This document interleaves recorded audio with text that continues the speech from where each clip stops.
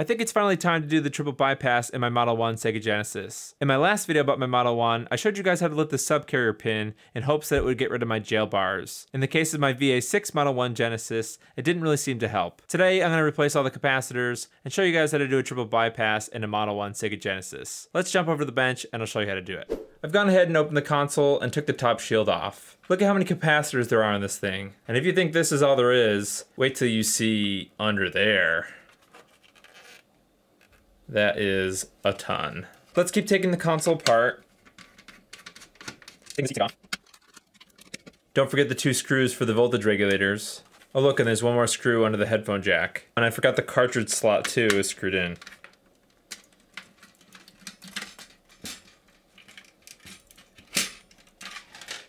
I'm going to go ahead and remove this second headphone jack that I added because I won't be using it anymore. And I'll tell you why in a little bit. If you're curious to what that was, I was just tapping off of the headphone jack output from the front here and then just running it to the back of the console. Now that that's taken care of, we still have to figure out how to remove this voltage regulator heatsink. If you look closely here, you'll see that there's one here, one here. These are rivets. They're actually keeping this heatsink attached to the PCB. The only way to remove this heatsink now is to drill out those rivets. I've got a 3 32 seconds drill bit. Let's go ahead and see if we can drill them out. Okay, I got one done here. Just be really careful. These kind of get stuck in there. Be careful if you're going to do this on your console.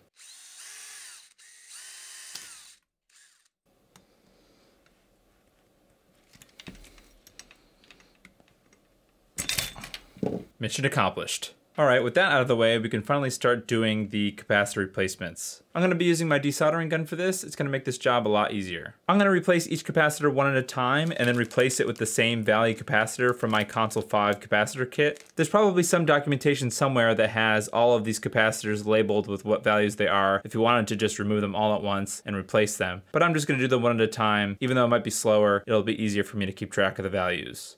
Okay, just about 30 capacitors later, I replaced most of the capacitors all over the board. Now you'll notice that I didn't replace these ones here. We'll get back to these in a little bit, but this is actually going to be for the audio. So we are going to be desoldering these, but just not right now. Now for my triple bypass install, I am going to be installing the Genesis 2 style mini DIN. We are going to be following Bob's guide for this part, so we're going to have to remove this RF jack here. Let's have a look at what needs to happen to remove this thing. Looks like we have to desolder these three pins here. Looks like there's four or five big pins that we have to desolder to. I probably won't be able to do that with my desoldering gun. I'll probably use my handheld solder sucker. Add some fresh solder everywhere.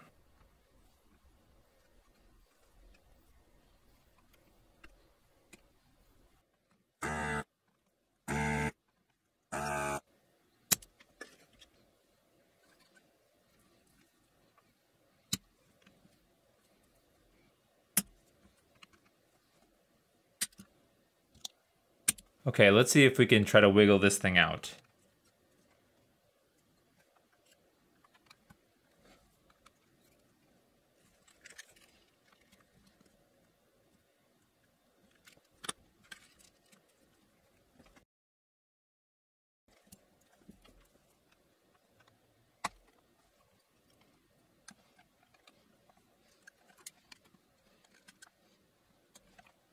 Okay, that's pretty good. Looks like it was just these three points here and then these three pins back here. Okay, now if we flip the board back over again, so the idea is we're gonna take this Genesis 2 style port and add it to the place where the RF port was, so that port sticks out of the hole where the RF jack was. I'm gonna put the board back into the case for a second. This is gonna help me line this part up better. We need to scrape some of the solder mask off so that the top of the Genesis 2 port actually can solder to the ground plane underneath that RF port. I've got this scratch pen. Let's see how far that's gonna get me.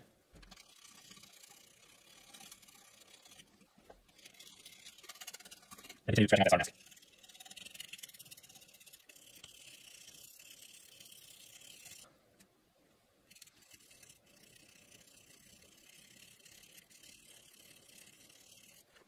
If you're going to do this in your own console, please use one of these tools because this is actually a lot of fun. Okay, I'm not exactly sure how we're supposed to do this. Maybe I'll tin the top of this port and then I'll tin the copper here and then I guess I'll just heat it all up. I turned my soldering iron up a little bit so that we'll have a little more power.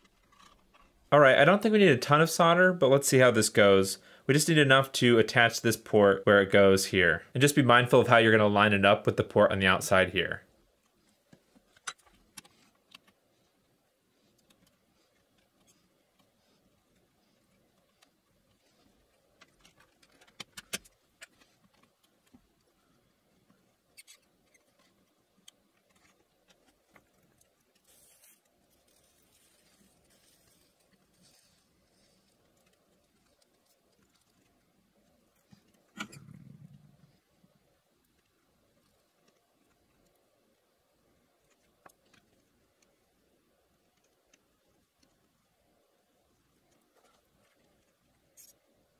I think that's about as good as I'm gonna get without a hot air station. Not 100% lined up here, but now that I think about it, the Model 1 port is not lined up either, so I think this is pretty good. And I tested it with the cable, and the cable fits in there good. With this out of the way, let's turn our attention to this VDP. My Model 1 has a subcarrier pin lifted. I think I wanna go ahead and put that back before I start on the RGB lines over here. I think all I really need to do is put this pin back where it should go.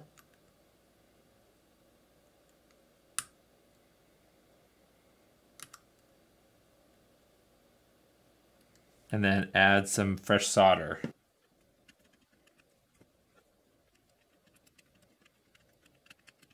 With the subcarrier pins put back, the next thing that we have to do is lift the RGB pins on the VDP. Lifting these RGB pins is how we're going to bypass the stock Genesis RGB output. In order to find out which of these pins are for the RGB, we're going to have to visit our new best friend, the Console 5 Tech Wiki. Over on the Tech Wiki, go ahead and search the model of your VDP. So in my case, mine is 315-5313. Then you want to look for the section that says linear RGB output, and that's going to tell you which pins on this VDP we have to lift. On my console, I'm going to have to lift 27 27, 28, and 29. All we have to do is find those pins on the VDP, heat them up with our soldering iron, and use an X-Acto knife to lift them up.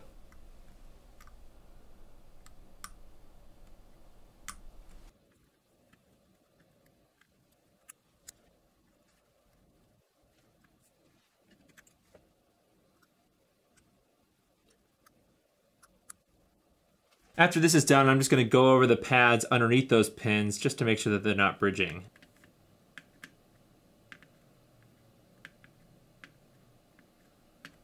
Next, we're going to need to solder these 4.7 microfarad capacitors around the ground and voltage pins that surround these RGB pins. Double check the tech wiki for your VDP, but on mine, there is a ground and voltage pin that surrounds these RGB pins. And even better, there are these test points, one is here and one is over here that we can solder this capacitor to. The legs in this capacitor are not far enough apart to actually span those two vias. There's a huge trace right here, so I'm gonna scrape some mask off there and we're gonna bridge this test via on the right and the part that we're gonna scrape the solder mask to on the left.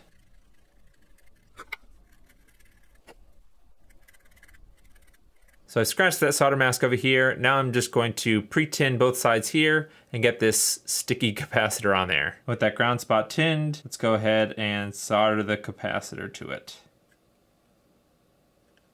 turn it and solder the other side.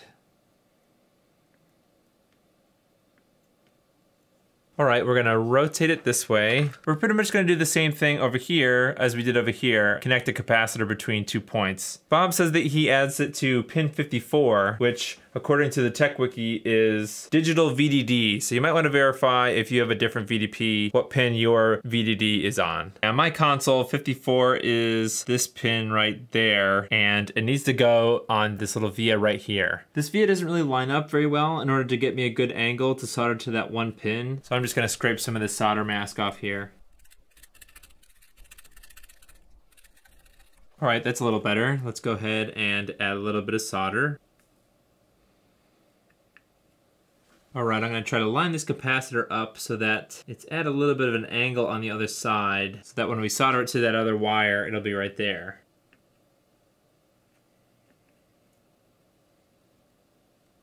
I'm doing my best to try to angle the capacitor so that it only touches pin 54 in there. Let's see if I can solder just to pin 54.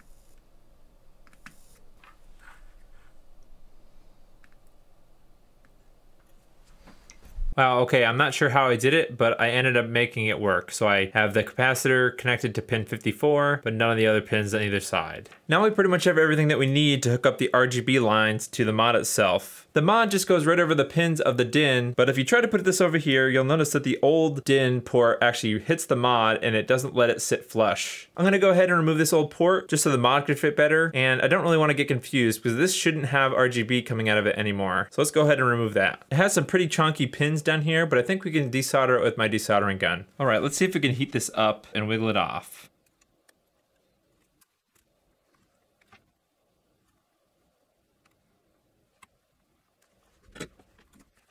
Whoa, look at that thing. Pretty big. All right, now if we flip it back over, now we're gonna have plenty of room to mount this mod. Go ahead and slip the mod over pins and push straight down. I forgot before we want to do that, take a look at the back of the mod itself. Written on here are some instructions for the jumper settings. It tells us which jumpers that we're gonna have to solder on the other side of the board. So if you have a Model 1 between VA0 and 6.5, you're gonna solder jumper 1. But if you have a VA7, then you're gonna solder 2 and these other jumpers settings here. The numbers correspond to these gain settings here on the mod. So we're gonna have to solder solder one on both sides. All right, now we can mount the mod.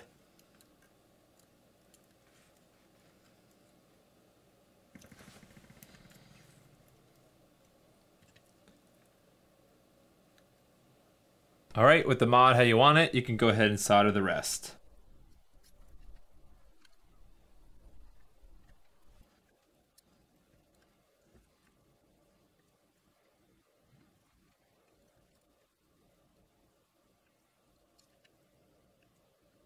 With the mod in place, we can finally go ahead and start wiring it up. We're going to start with the RGB on the right side of the mod here. We're going to need a 5 wire piece of ribbon cable, maybe 8 or 9 inches. I've gone ahead and separated the wires kind of like this so that they're facing out this way because this is the way the wires are going to go. But they're going to be far enough apart so that we can easily solder the separate wires to them. Go ahead and separate three of the wires from the other two.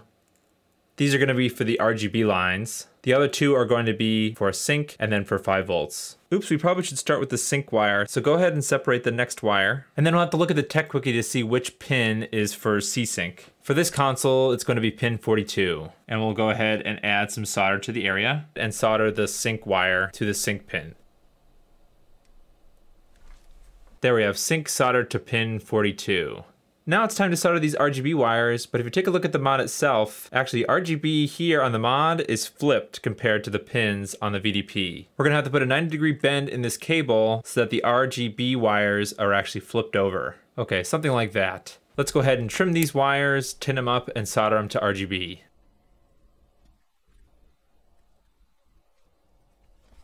Not the best job in the world, but I think I got them soldered in there. All right, this last wire is for 5 volts, but we're going to hold off on him right now. Let's go ahead and solder the wires up here. Because of the way we set up the wires down below, these wires are going to go in the order of the pads here from left to right. So 5 volts, sync, R, G, and B. So let's go ahead and cut this off right about here. Maybe a little longer. Before we do anything, actually, let's go ahead and tin these points. And we're just gonna kind of feather these wires in one at a time from left to right, going from bottom to top. And here's what mine looks like. Shout out to Ben Fong because he uses this technique and I think it's really awesome and it does a really nice neat job of keeping all the wires kind of neatly put together. But let's go ahead and do the 5 volts before we forget it. We're going to be getting 5 volts from this right voltage regulator here. The rightmost pin is the 5 volt regulated output. Go ahead and separate this 5 volts. We're going to kind of sneak it in here, cut it to length, tin that leg, and solder it on.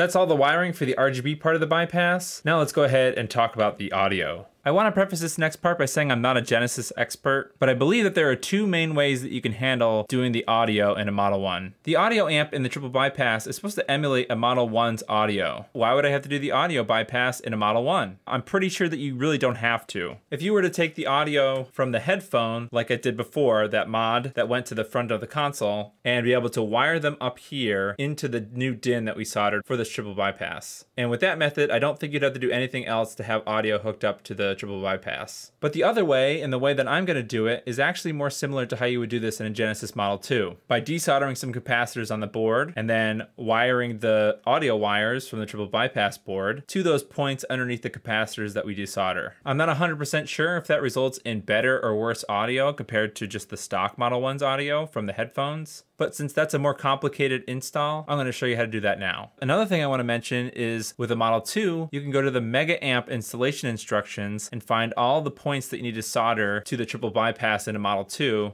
in order to get audio. If you go to the Mega Amp installation instructions and look for a Model 1, you'll see that there's only instructions for a VA7 console. So if you've got a VA7, go to the Mega Amp installation instructions and look at it installed from there. But I'm pretty sure if you have any other version, your capacitors are gonna look something like this. And in that case, I think you can follow along with what I'm going to do. The first thing we've got to do is get rid of all of these capacitors here. If you're curious, I'm getting the details of what wires I'm going to solder where from FirebrandX's M1 Mini Mega installation guide. I'll leave a link to that too, so that you'll be able to see which wire on the mod is going to go to which capacitor down here. That being said, we're going to need a seven wire piece of ribbon cable. We're going to start out by soldering these wires up here on the mod. We're going to keep these wires kind of centrally located and cut them and fan them out sort of similar to how we did over here.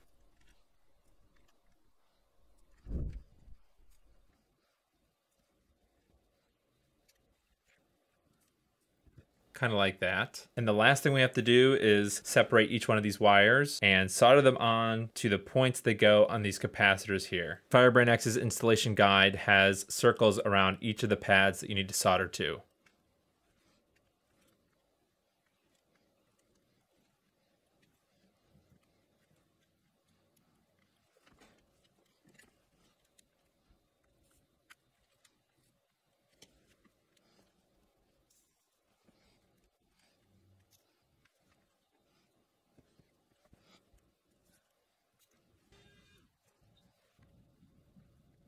That's everything wired up, but before we test this out, give this video a like if it helped you out, and get subscribed for more modding installation videos. I love doing these mods and showing you guys how to do them. Let's go test this console out. After doing the triple bypass in this Model 1, I don't see any more jail bars. And after doing the research, I don't think it's that much harder to do than the triple bypass in the Model 2. I think that the information is kind of scattered for the Model 1. If you're going to the RetroRGB site to look up how to do the Model 1, you won't find all the information about how to do the audio. I talked to Tian Feng on Twitter about it, and he had showed me that tutorial by FirebrandX that actually shows all the capacitors you have to solder to. Again, I hope this video helped you out, and I'll see you in the next video.